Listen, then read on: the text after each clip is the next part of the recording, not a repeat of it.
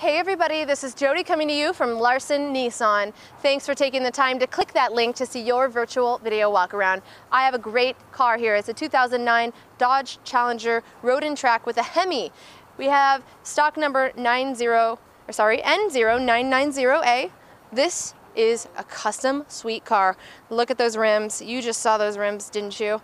Look at these privacy glass windows here and the smooth, sleek body.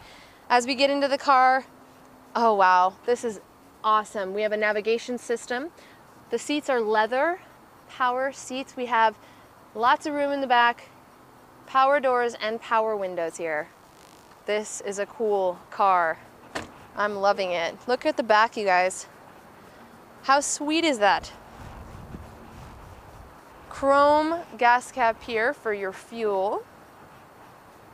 In the driver's seat, you're going to notice, look at those seats, no scratches or tears at all. Cruise control, low miles. This is a great car, and I love this color. Make sure you guys contact us today. If you have any questions at all, you can shoot us an email. You can call us at the number at the top of the screen.